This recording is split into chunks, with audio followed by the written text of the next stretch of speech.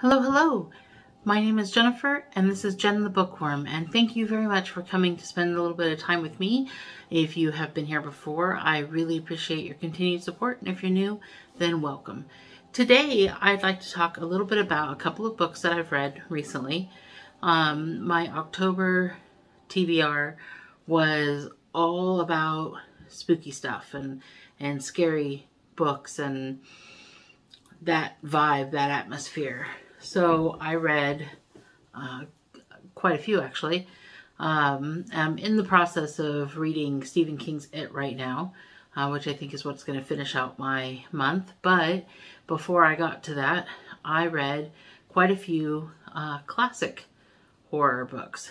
Um, and I wanted to read a few more. I wanted to read some H.P. Lovecraft and I wanted to read um, like Carmilla and Dracula but I didn't get to those books um, before I discovered a whole month of short books was not doing it for me.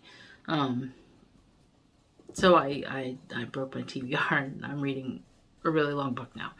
But in the process, I did read these three books, these three classic books that I thought I would do a video on, all three of them together and kind of compare them um, with each other. And the three books that I read are uh, The Woman in Black by Susan Hill, The Haunting of Hill House by Shirley Jackson, and The Turn of the Screw by uh, Henry James. Uh, those three are um, considered classics, uh, have been written a long time ago. Um, some of them are have more relatable language than others, uh, but all of them were hailed as being very good uh, reads, so I picked those up this month. Um, and two out of three ain't bad. I didn't enjoy The Haunting of Hill House, but the other two I enjoyed quite a bit. Uh, so let's get into why that was. So The Woman in Black by Susan Hill was um, a fairly short book, about four and a half hours long or so. Um, it was narrated by Paul Ansdell. I did uh, listen to this on um, audiobook and it was beautifully written. I really enjoyed the writing style and the accessibility of it without, it felt like an older classic book, but it wasn't too difficult to disseminate the language and, and really understand what was being said. I think the author did an awesome job and really laying out the atmosphere of um, of this place. This is a ghost story, and the home of the woman in black um, is she lives on uh, the house is on a um, an island. Well, it's on a a marshy area that becomes kind of an island when tide comes in, and so it's very easy to get stuck out there um, lost out there. The weather plays up with the fog and and the atmosphere is spot on. It is exactly what you want for a horror book. It was compelling. I never felt like I was just kind of waiting to get to the end. And at the end, I was I was playing Minecraft while I was um, listening to much of this. Uh, usually when I'm doing audiobooks, I have to be doing something else. Housework or video games, solitaire. Sometimes I play a lot of solitaire while I'm reading. Uh, today I was playing, this day anyway, I was playing uh, Minecraft. And um, doing some mining and doing some menial tasks, things that you don't necessarily need your full attention for. And, but when it got to the end of this book, I went and found a safe place to be and just sat and listened to it and experienced the ending. And it was enough for me to do that. I didn't need other things for my attention, which is rare. Um, I, so I, I really think that it was very well written and the ending was very good. Gave me chills. Maybe it wouldn't have done that if I had been reading it as opposed to listening to it. Uh, I tend to think that if you get a good narrator It really sets the atmosphere, it really sets the tone, and it allows you to access the material in a different way than maybe you would if you're just reading it and having to come up with the voices and interaction and stuff in your own head. So that was the first book that I that I read for uh, the month. The second book that I wanted to cover in this video was The Haunting of Hill House by Shirley Jackson. Now, I love the adaptation um, that Netflix has. I've watched it a few times. Uh, it was very good, very well acted, very, very good, very well directed. Um, and I had heard that the Netflix special is not much like the book, that it's like they're, they're alike in name only. They're not really the same story. And I found that to be, for the most part, true. Uh, there were a couple of um, characters, um, you know, if you've seen it, and this won't be spoilers, but the, the main character, Eleanor Vance, uh, the character of Luke, the character of Theo, Theodora, are all three in there. There's a doctor, Dr. Montague, which, if I'm not mistaken, plays a small bit part in the TV show, but not in the same capacity. I think he's a psychologist for um, for Nellie, for Eleanor. Um, but anyway, the um, so some of the the characters are there. Steve and Sher, uh, Cheryl, Cheryl, Shirley, Cheryl. Can't remember the oldest daughter's name in the Netflix. I think it was Cheryl. Anyway, those two are not characters in the in the book. The um, Mr. and Mrs. Dursley or character Dursley, Dudley. Hmm. Mixing up Harry Potter. That's not good. The uh, caretaker and the housekeeper are in the book, but they are they don't play a big part and they're odd in the book. They don't come across like they do in the, the TV show. So I accessed the TV show first, um, and I, I had watched it a few times before I read the book. I don't think that that necessarily colored how I feel about the book because my problems with the book aren't so much that the storyline is so different. Actually, it was kind of interesting to see in which ways that they were similar, which ways they intersected. The um, couple of, of really good um, kind of spooky scenes in the TV show actually were taken from the book. So it was that part was kind of nice. It was kind of nice to see where where things were the same. Um, but my problem, I think, was with the writing, which a lot of people will be surprised by because Shirley Jackson is heralded as such a, a great writer. Uh, a lot of people who have read this particular book of hers has commented on how beautiful her writing is, and they just can't wait to get into something else of hers. I did not enjoy her writing. Maybe on something else I would, but I did not enjoy this book.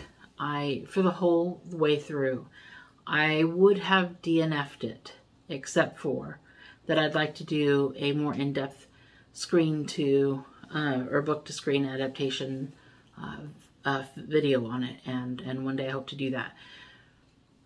That's the only reason I didn't DNF it. I would have and gotten out of there quick if I could have. It was not good. Um, and I'm not going to spoil the story for those people who know what the story is. It's a haunted house story. Um, and I'm not going to spoil anything, but I want to give some examples of the writing, the reason I didn't like the writing there were, there's a part in there where Eleanor is driving to the house and she, I don't like Eleanor as a character. She is too mousy and muley and, and me, me, me, me, and it wasn't good. It was not good. It was just, just too, I'm too shy. I'm too much of a little mouse to say anything. I, it was unclear why she was being invited to the house, Dr. Montague in the book is inviting a couple of people to come stay the summer with him in this house to document um, supernatural phenomenon. That's the premise of it. So she's invited for reasons I'm not sure. She, um, I think the reason why she was invited is because she had an incident like her of some poltergeist in, incident or something when she was a child, but it wasn't surrounding her. It wasn't about her necessarily, so I'm still unclear as why she was invited along. She drives up to to Hill House and she's just the it was just not good. It was it was she driving along and she spots this house and it's got two lion statues in front of the house and she has a complete daydream about oh what it would be like to live in that house and I would brush the teeth of the lion with water and bleach and soda every day and I would take such good care of the lions that everyone in town would love me because I'm taking such good care of the lions. Oh, but now I'm not by that house anymore. Now the house I can see is a little cottage and it's covered by rose bushes and you can barely see it. And I would be able to have such a cute little home here and be just by myself and and I would have you know, fix the, the, the house this way and I would do the, this thing with the house. Oh, now I'm not at this house. I'm at this other thing it was very rambly. It was very like pick a train of thought and keep it. Or, I mean, it was, and maybe she was just trying to show the kind of character Eleanor was. And if that's the case, I didn't like Eleanor. And if you don't like the main character of the story, the person whose point of view you're in most of the time, that's going to make a difference. So I did not like that. Also, there was a part when she's at the house where she's like sitting by the fire and she thinks to her, she looks down at her feet and she realizes she's wearing red shoes. And I mean, this isn't a direct quote, but this is pretty much how it went. It's, I have red shoes. Eleanor is somebody who has red shoes. Having red shoes is a function of being Eleanor. Eleanor has red shoes. I have red shoes. That's it. This over and over again for a paragraph about her red shoes. Then the relationship between her and Theo was weird. Like at first they she gravitated towards Theodora. I think it was having somebody else. She was the first to arrive in the house, so having somebody else there made it less creepy. Um, you know, she, they really took to one another and then she hated her and she wanted to see her die at some. And then at the end, she wanted to live with her. And I don't understand that journey, but I feel like this was the premise or this, this might have been the inspiration for single white female. I don't know, but it was weird and it just wasn't good. Um, I don't know how they got such a great Netflix adaptation out of this material. They, much of what you see in the show, much of what you would like in the show is not in the book. So, and the reason for me not liking this book isn't that. It isn't that they didn't, it didn't follow the show clo closely enough because obviously this came before the show. That isn't the problem. The problem is, is that the writing was not accessible. The character was not a good character, the main character that whose point of view you're in the whole time. The, the, I, I didn't enjoy the writing. Um, I think I got to the end of it and I was listening to it and I dozed off a little bit. I may have dozed off through the most interesting part of the book because when I woke up, they were basically, you know, um, they were, well, I don't want to, when I woke up, they were doing something that indicated there was something interesting that happened, but I was so uninterested in the book by this point that I did not want to rewind it and try to listen to what might have been interesting.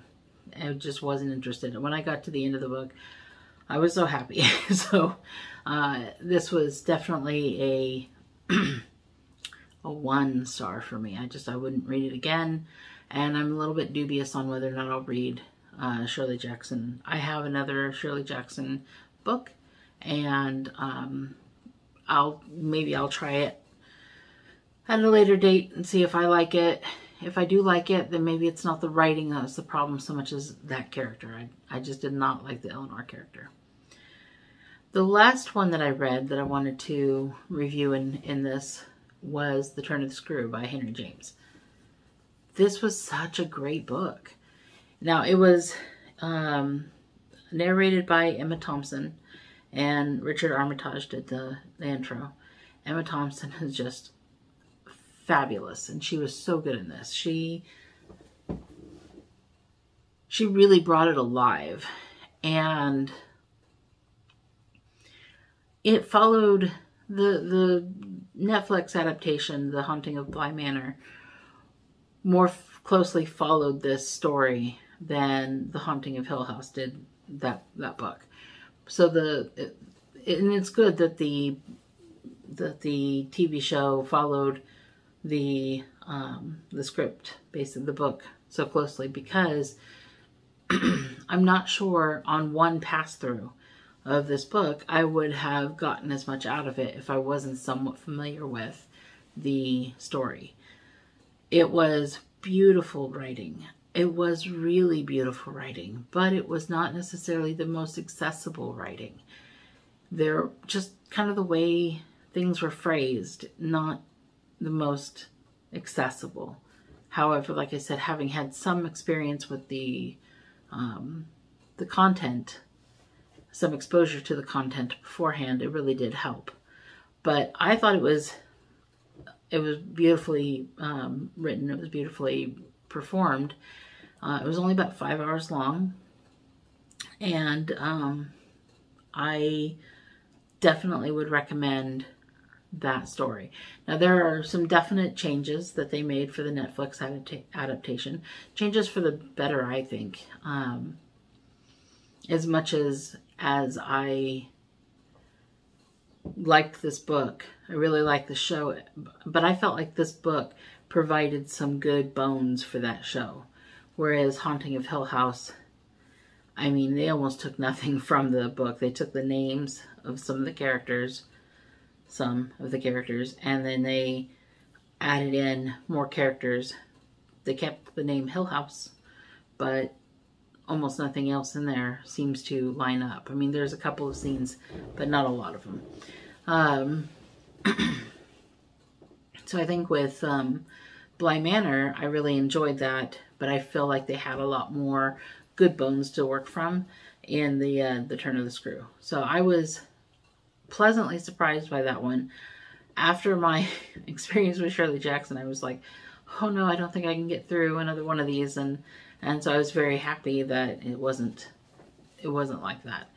Um, so I would say the Woman in Black is a solid um, three and a half, four star rating. Um, Turn of the Screw also three and a half, four star rating. Uh, Haunted uh, The Haunting of Hill House, one star. And I feel like all of them attempted a certain aesthetic with their writing and with their uh, descriptions. I felt like one of them fell short, but overall, uh, I thought it was a good experience. It was an eye-opening experience. I don't tend to read a lot of classic books, and I don't tend to read a lot of, of the older foundation books, I guess you could say, for the horror or the fantasy or the whatever it is I'm reading at the moment. I usually read a lot of the foundation pieces, so it was kind of nice to go kind of back and read some of the more foundation pieces to the horror that I know and, and really like today. Um, and I'm hoping to get to some of those books in my October TBR that I'm no longer getting to, um, such as um, there's another Shirley Jackson uh, story about the Salem witch trials that sound interesting. There's a Lovecraft book that I um, that I got that looks interesting. There was another one. There was a couple of of short stories. Oh, Amityville things that are are not new, but foundational pieces that, that maybe by reading them I can uh, learn to appreciate the more new horror that's coming out, things that I'm reading now. Um, you know, reading some of the the inspiration for Stephen King might make reading Stephen King much more meaningful. I kind of know where he's coming from when he's writing and so on and so forth. So, so that's what I have for you today. And I really appreciate the time you spent watching this video. If you've gotten to the end, then thank you very much. I appreciate that. I hope that you liked this content.